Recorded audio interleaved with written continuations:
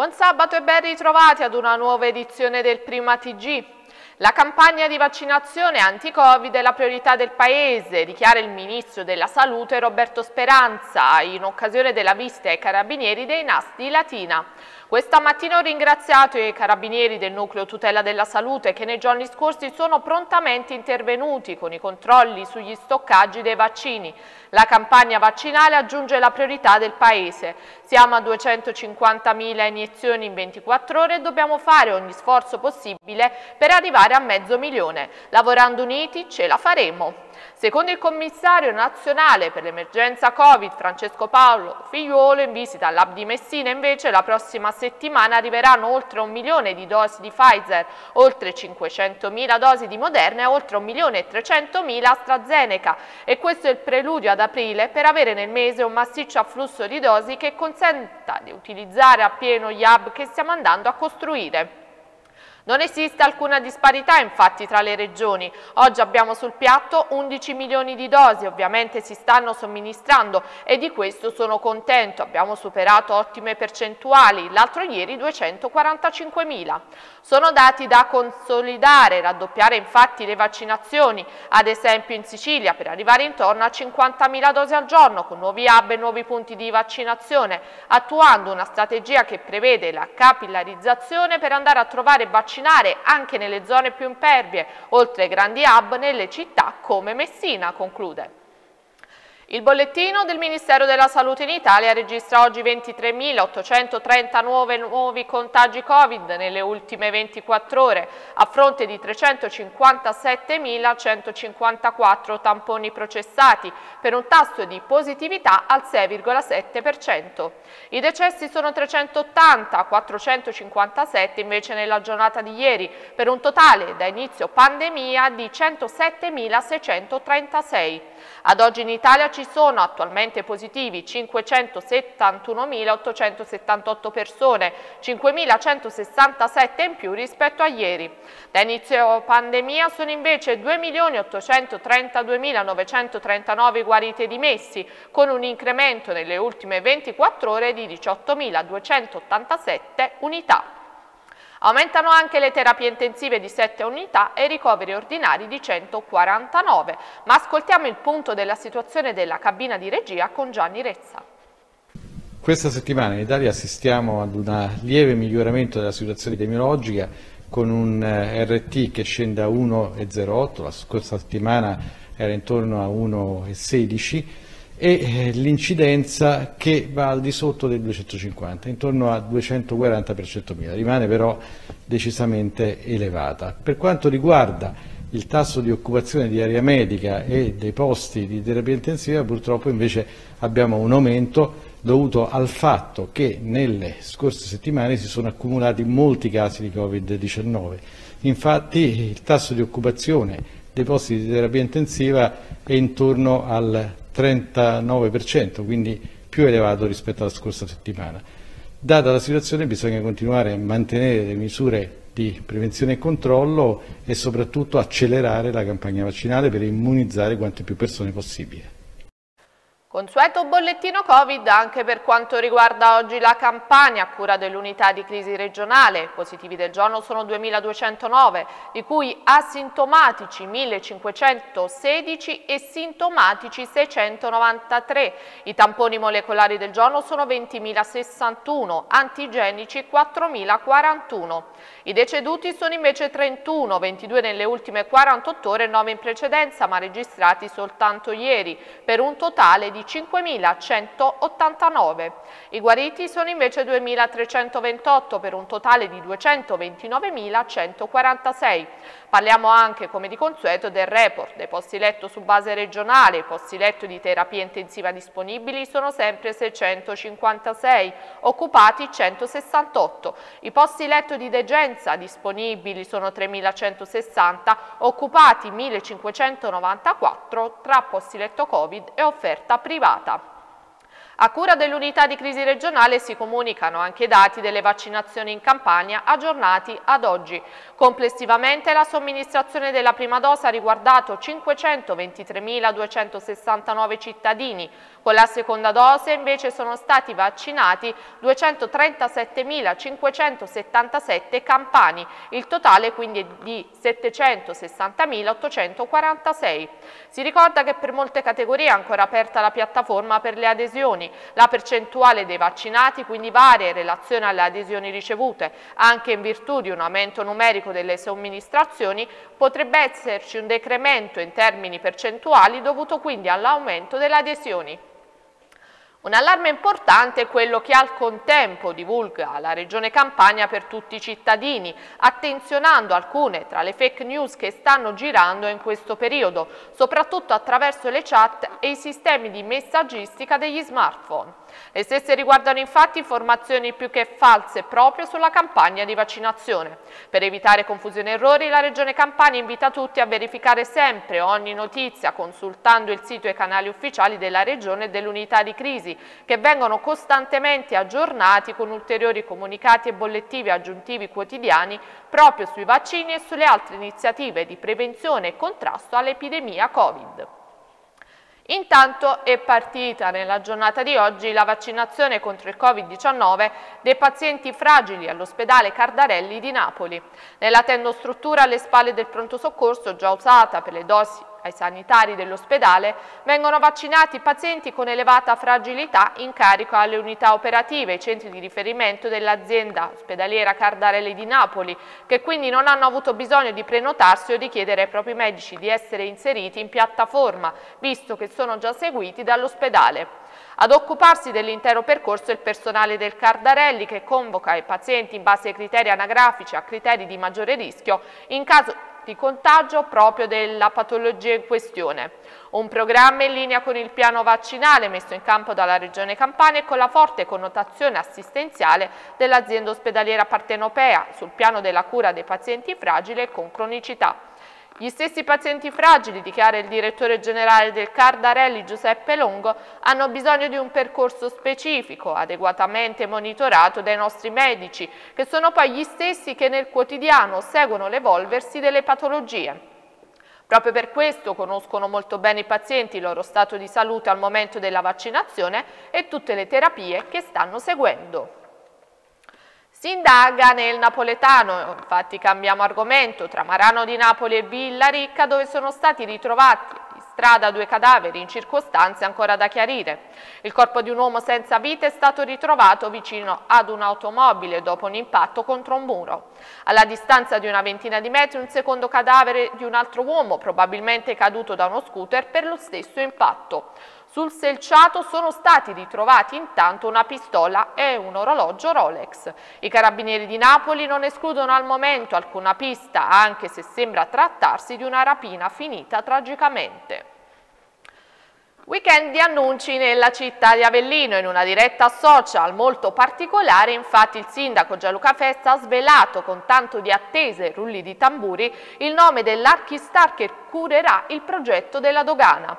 Si tratta di Massimiliano Fuxas, architetto e designer italiano. Dirige lo studio Fuxas con sedi a Roma, Parigi e Shenzhen. È stato inoltre visiting professor presso la Scuola Speciale d'Architettura di Parigi, l'Accademia di Belle Arti di Vienna, Stoccarda e New York. Ma ascoltiamo proprio le parole ricche di soddisfazione del sindaco Festa. Preparatevi, allacciate le cinture. Sto per svelare il grande nome. Silenzio, massima attenzione, rullino i tamburi, suonino le trombe, a me gli occhi. Cara città di Avellino, cara comunità avellinese, il nome dell'Archistar che progetterà la nostra dogana è, udite udite, Massimiliano Fuxas. Massimiliano Fuxas. Massimiliano Fuxas. Straordinario. Un nome incredibile. Fino a qualche tempo fa, solo immaginare che Avellino, potesse ospitare un'opera d'arte di questo straordinario, eccellente artista internazionale sembrava un sogno. Oggi è diventato realtà.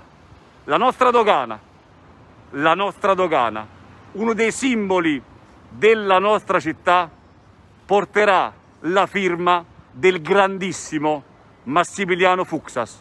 Questa era una delle sorprese che avevo annunciato alla città che con grande piacere e orgoglio governo insieme a una grandissima squadra impareggiabile che ringrazio per il sostegno che non mi fa mai mancare. Massimiliano Fuxas, questo è il regalo che faccio di cuore alla mia città. Grazie, ci vediamo alla prossima diretta. Buona serata. Secondo giorno di difficoltà deboli, qui unico caso in Campania, infatti gli operatori mercatali legittimati dall'ordinanza 11 del 25 marzo della Regione sono stati verbalizzati per ben due giorni dalla Polizia Municipale. Ogni verbale ammonta a 400 euro, 18 soltanto elevati sabato e 4 anche venerdì. A tutela degli operatori mercatali l'AMVA Confesercenti, che infatti ricorrerà in autotutela al comando di Polizia Municipale del Comune di Eboli. In caso di esito negativo sarà inoltrato il ricorso al prefetto. Ascoltiamo proprio le parole dei protagonisti. Allora, questa mattina stiamo qui al mercato ad Eboli, ancora una volta i vigili urbani, la polizia municipale sta facendo contravvenzioni agli operatori ambulanti. Sono contravvenzioni contro legge, tra le altre cose si stanno dando anche la zappa sui piedi. Ci, con, ci contestano il fatto che loro non hanno applicato il piano di sicurezza. Assurdo, mentre le attività sono in difficoltà, loro pensano di elevare verbali da 400 euro. Noi li contesteremo, la categoria è ben rappresentata, l'AMBA Confesercenti è presente a tutti i livelli, come AMBA, come Confesercenti siamo qui con i nostri avvocati, non faremo passare questa linea dell'amministrazione. Era una notizia attesa da ben 17 anni. Sono iniziati al cimitero di Somma Vesuviana i lavori di recupero di un'importante opera, quale la cappella sepolcrale del Santo Rosario. Il progetto prevede la realizzazione di loculi di due distinte capacità, ben 145 di tipo 1 con 6 cassetti di zinco ed altri 173 loculi di tipo 2 con 4 cassetti. Dunque si tratta della realizzazione di ben 318 loculi nuovi Ascoltiamo le parole dell'assessore Sergio Davino. Un'altra risposta uh, dell'amministrazione di Sarno è questa della ristrutturazione della uh, congrega del Santo Rosario. Dopo tanti anni di attesa, ecco iniziati i lavori per il compimento di questa grande uh, e importante opera al cimitero di Somma Vesuviana. Consueto bollettino Covid mattutino del sabato dall'ASI Terra di Lavoro sui positivi Covid a Caserte nella provincia delle ultime 24 ore. Si registrano 324 nuovi casi su 2351 tamponi processati per un tasso di incidenza pari al 13,78%. I guariti sono invece 246, positivi attuali aumentano di 71 unità. I decessi registrati sono 7 nelle ultime 24 ore. I comuni con il maggior numero di attualmente positivi sono Caserta con 607, Aversa con 313, Marcianise con 491 e Maddaloni con 526. Il sindaco di Caserta, l'avvocato Carlo Marino, ha rilasciato delle importanti dichiarazioni sul momento della sua cittadina tra Domenica delle Palme, il programma vaccinale e la pandemia. Ascoltiamo un estratto. Domani è Domenica delle Palme. Intanto auguri. Auguri a noi tutti, ai casertani, è una Pasqua particolare, una Domenica delle Palme particolare perché c'è ancora una pandemia in città, c'è ancora tanta sofferenza, abbiamo tante persone ancora che sono in terapia intensiva, ci sono tante famiglie che hanno sofferto perché non hanno più i loro cari, sappiamo tutti che è un momento difficile per il nostro paese e per la nostra comunità, però è anche un momento importante perché le vaccinazioni continuano tutti i giorni, perché il nostro centro vaccinale è il migliore della campagna, perché a Caserta abbiamo eh, i vaccini che si stanno facendo e siamo la città dove si fanno più vaccini in tutta la campagna. Quindi c'è un dato positivo, c'è una percentuale, abbiamo più di 600 positivi in città ancora e quindi ci deve essere tanta tanta attenzione. Siamo più fortunati degli altri, perché sostanzialmente abbiamo o più capacità degli altri, come la vogliamo dire, perché abbiamo una media dei nostri positivi al di sotto di quella regionale, molto migliore di tante città sia della provincia di Caserta ma sia della regione Campania. Però proprio perché abbiamo dei dati buoni dobbiamo continuare sulla nostra attenzione, sul nostro buonsenso, sulla nostra responsabilità, sul nostro voler salvare la vita dei nostri cari, sul voler stare attenti con evitare assembramenti, evitare eh, tenere ben conto del distanziamento sociale, regole igienico-sanitarie e mascherina, sempre e ovunque, mascherina.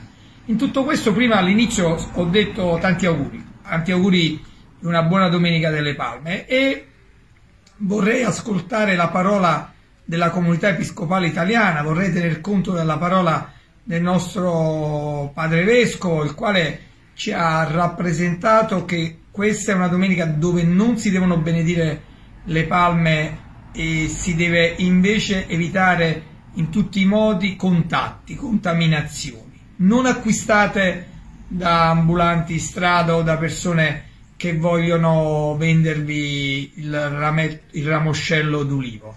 In questo momento dobbiamo tener conto nel nostro cuore della nostra benedizione. Terremo, abbiamo tante forme per trasferire ai nostri cari l'affetto della, che trasferisce un ramoscello ulivo, il segno di pace, il segno di stare insieme, il segno di costruire il futuro della nostra terra. Mi raccomando.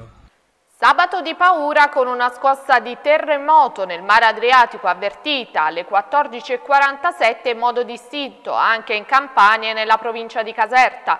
In città l'amministrazione comunale con un messaggio ha confermato che la scossa sia stata avvertita anche in città indicando proprio l'orario e l'epicentro, quindi il mare Adriatico con magnitudo 5.6. Come si legge nel messaggio sono state molteplici le segnalazioni giunte al centralino della Polizia Municipale, ma non si evidenzia nessun danno a cose o persone. Dopo la prima scossa ci sono state nove repliche in un'ora, tutte nella stessa zona dell'Adriatico centrale. Secondo i dati, tra le 14.47 e le 16.05 ci sono state tre scosse di magnitudo superiore al 4, 4 di magnitudo superiore al 3 e 3 di magnitudo superiore al 2. Il sisma è stato avvertito nella Dalmazia centrale, nelle città di Splitta, Spalato, Trogir e nell'isola di Kfar. Concludiamo come sempre con lo sport, il calcio e il Napoli. Marek Hamsik e Giorginio, due pedine fondamentali del Napoli che fu di Sarri e che sfiorò lo scudetto tre anni fa. Due pezzi di cuore dei tifosi azzurri che difficilmente dimenticheranno quel ciclo fantastico che portò la squadra a giocarsi lo scudetto fino alla penultima giornata contro la Juventus. I due centrocampisti sono stati protagonisti di un'intervista doppia durante una trasmissione condotta dal comico Peppe Iodice. La prima domanda è stata emblematica, quanto ti manca Napoli? Ed Amsic senza pensarci ha risposto troppo. Giorginio gli fa eco, non ci sono parole per descriverlo, mi manca, a chi non manca. Qui a Londra fa freddissimo, cos'è il sole? Marek parla poi dell'esperienza in Cina, è sempre un'avventura, non è stato facile però ne valsa la pena. I due centrocampisti poi danno luogo a un simpatico duetto sul tema calci di rigore.